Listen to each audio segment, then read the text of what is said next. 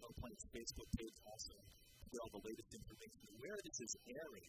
So our national broadcast be in on a variety of stations depending on your local area. You go on the Pro Plan's Facebook page to get that information. And June 15th is when the first, it's the first time that this is aired.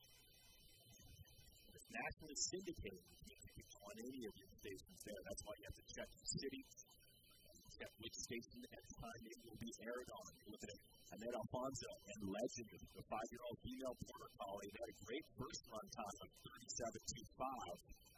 And look at this, blazing through course. And again, they must have had a good strategic discussion in between rounds.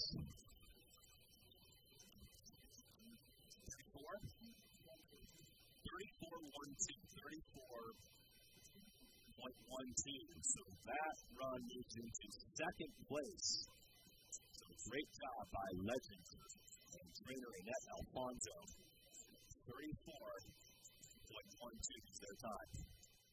Legend, as always, did great today. I mean, I can't, she always gives me 120%. I mean, it's my timing, you know, and getting her the right cues at the right time for her to be able to do her job, you know, at its best. But she's she's always awesome. We struggle a little bit with the ending.